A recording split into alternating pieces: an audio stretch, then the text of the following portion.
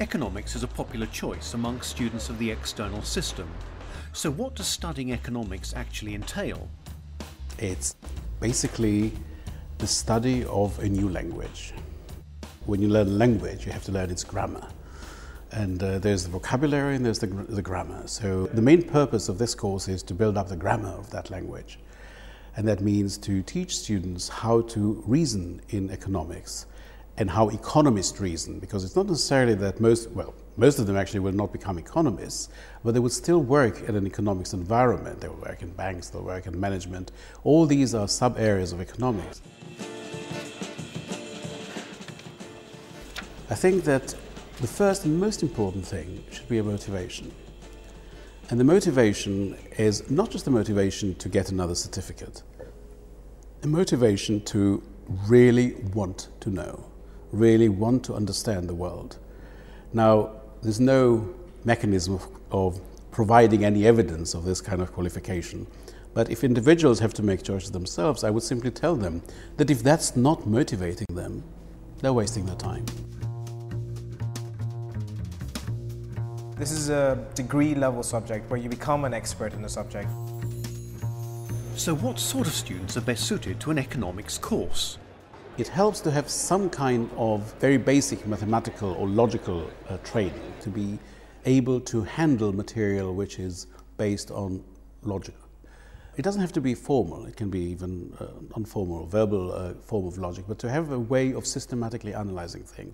Now, usually the best indicator of such things would be some qualification in mathematics at the either GCSE level or A level.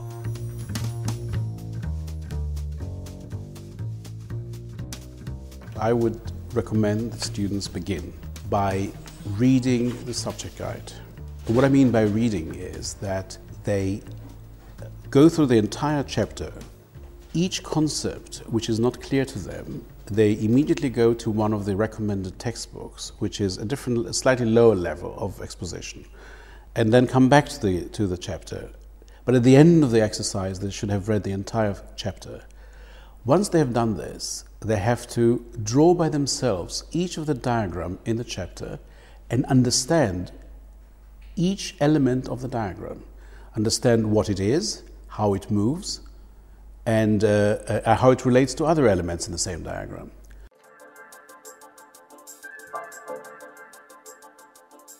The two levels of knowledge really we seek them to achieve. One, which I would call familiarity with the material, or in economics more specifically, it's model recognition. They have to be able to recognize and be able to uh, present the fundamental basic models as they are without any further complication.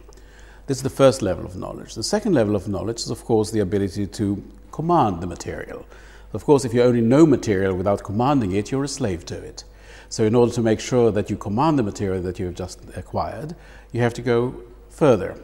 It's the ability to relate these models to real life situation. Real life here means normal language. And the second one is the ability to solve them, to use them in order to solve situations. When it comes to exam time, what qualities are the examiners looking to test?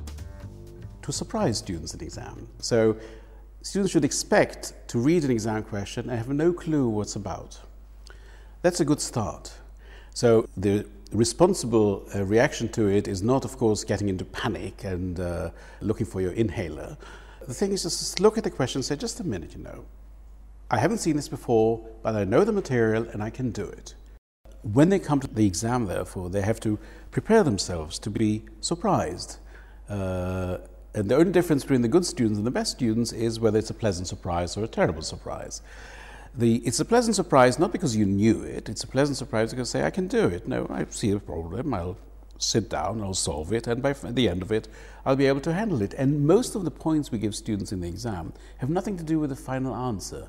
We want to see how they deal with the problem step in after step. Actually, the, the points they receive for the solution are very, very little. So most of the points is actually for the whole process of dealing with the questions. And that's why it doesn't matter that they've seen it before or have not seen before, because it's the way they approach things that matters a great deal. With an economics qualification, how are students better equipped to cope with career and life opportunities? economics allowed me to be able to learn not only about the fundamentals of running a business, but more at large factors such as um, the economy and how the economy obviously interacts with smaller businesses and so on and so forth. The general objective of education is to train the mind. And the way you train the mind is by challenging it.